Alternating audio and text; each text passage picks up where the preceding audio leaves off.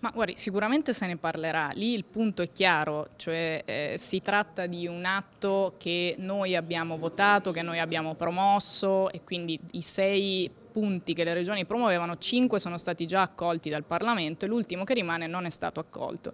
Per una decisione politica, quindi bisognerebbe evitare di fare e disfare. Io credo che l'unico tema da affrontare oggi sia questo. Poi è ovvio, se c'è chi ha una posizione diversa, proprio perché siamo un partito democratico, non ci sarà nessun tipo di, di atteggiamento, diciamo, eh, di, di, di, condanna assolutamente, insomma c'è totale libertà in questo, però è chiaro che il Partito Democratico ha una posizione che fa riferimento conta quello che facciamo qui dentro in Parlamento, sarebbe strano il contrario.